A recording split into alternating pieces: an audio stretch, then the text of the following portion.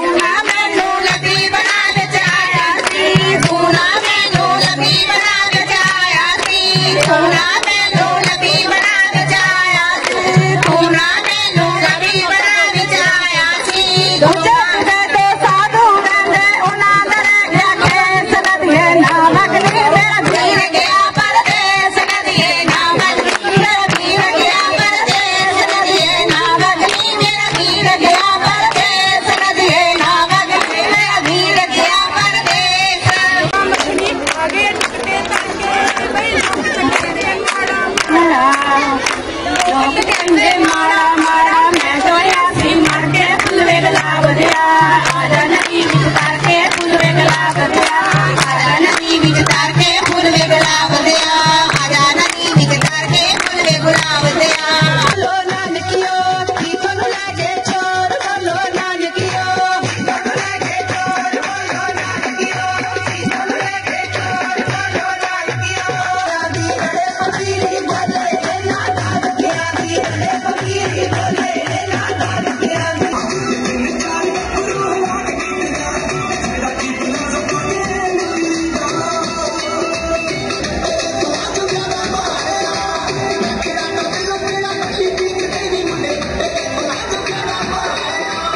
ਇਸ ਮੌਕੇ ਸੰਸਥਾ ਦੇ ਪ੍ਰਧਾਨ ਸਰੂਪ ਸਿੰਘ ਮਠਾੜੂ, ਇਸਤਰੀ ਵਿੰਗ ਦੀ ਪ੍ਰਧਾਨ Parvinder Kaur Pinda, chairman Inderpreet Singh Tiwana, general secretary Manjit Singh ਨੇ ਕਿਹਾ ਹੈ ਕਿ ਤੀਆਂ ਦਾ ਤਿਉਹਾਰ ਸਾਡੇ ਸੱਭਿਆਚਾਰ ਅਤੇ ਵਿਰਸੇ ਨਾਲ ਜੁੜਿਆ ਹੋਇਆ ਤਿਉਹਾਰ ਹੈ।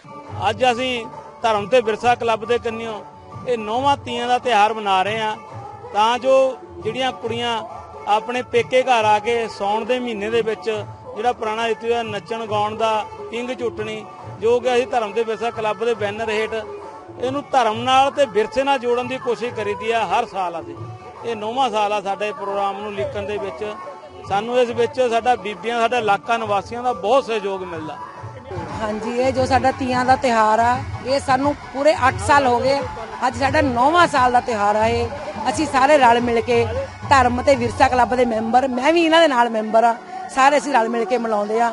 ਸਾਰੇ ਭੈਣਾਂ ਭਰਾ ਭਰਾ, ਅਸੀਂ ਇਹ ਸਾਰੇ ਦੇ ਸਹਿਯੋਗ ਨਾਲ ਤਿਹਾਰ ਮਨਾਇਆ ਜਾਂਦਾ। ਕਿਸੇ ਇਕੱਲੇ ਦੇ ਵਾਸ ਦਾ ਰੋਗ ਨਹੀਂ, ਇਹ ਸਾਰੇ ਵੱਲੋਂ ਰਲ ਮਿਲ ਕੇ ਮਨਾਇਆ ਜਾਂਦਾ ਔਰ ਸਾਰੇ ਮੁਹੱਲੇ ਦਾ ਤਿਹਾਰ ਸਾਰੇ ਰਲ ਮਿਲ ਕੇ ਮਨਾਉਂਦੇ ਧਰਮ ਤੇ ਵਿਰਸਾ ਕਲੱਬ ਪੰਜਾਬ ਪਿਛਲੇ ਲੰਬੇ ਸਮੇਂ ਤੋਂ ਵਿਰਸੇ ਪ੍ਰਤੀ ਕੰਮ ਕਰਦੀ ਆ ਰਹੀ ਹੈ।